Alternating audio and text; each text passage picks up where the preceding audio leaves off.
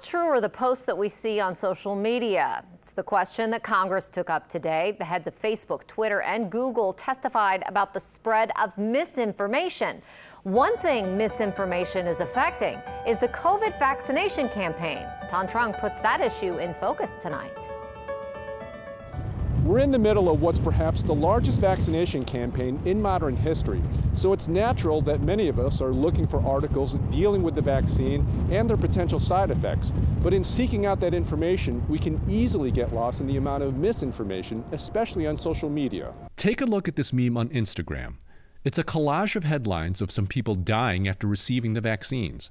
What it doesn't say is those cases need review to see if there's any link to the vaccine it got flagged as misleading for lacking context. Content that your websites are still promoting, still recommending, and still sharing is one of the biggest reasons people are refusing the vaccine. Today, some House members slammed the heads of Facebook, Google, and Twitter for adding to political division and vaccine hesitancy. Republican members accused social media of silencing conservative voices. The CEO of Facebook says private companies should not be policing free speech but it is trying to make sure its platforms remain safe spaces. We remove content that could lead to imminent real world harm. We've built an unprecedented third party fact checking program. Despite that, a headline like this will get a lot of attention. According to the tracking firm Newswhip, this article about a Florida doctor dying after receiving the vaccine is so far the top article about COVID this year.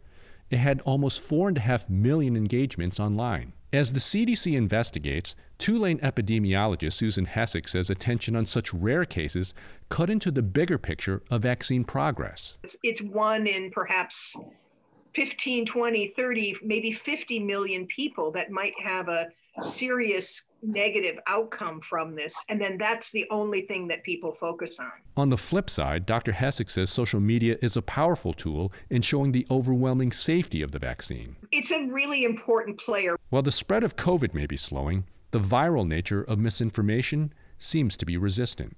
Thanh Truong, Eyewitness News. Today's hearing also addressed the role of misinformation in the deadly riot at the U.S. Capitol. Facebook and Google declined to say whether they believe they bear some responsibility for spreading misinformation resulting in that riot. Twitter acknowledged that it did.